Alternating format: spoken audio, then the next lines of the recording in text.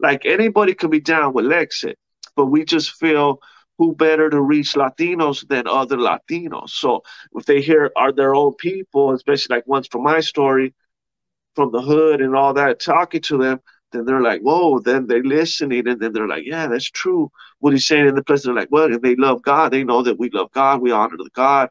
And just the left is just terrible. And then the lockdowns, just in all ways, they're seeing the left. But it's just hard because the the Democrats are giving it to the Republicans on a silver platter, but they're dropping the ball like always. Like they don't do not one thing to help. Like imagine we've been around four years.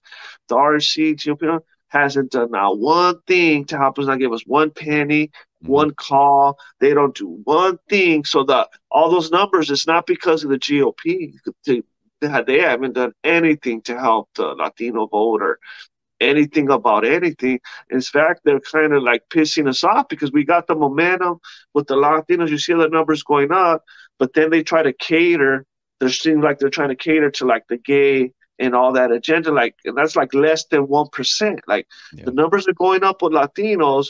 So why are you going to do that? It's going to piss us off. That's the reason why we're leaving the Democrat Party. So why are you trying to embrace that? It's just the the Republican side they're like their own worst enemies sometimes. Like I don't know what they're doing.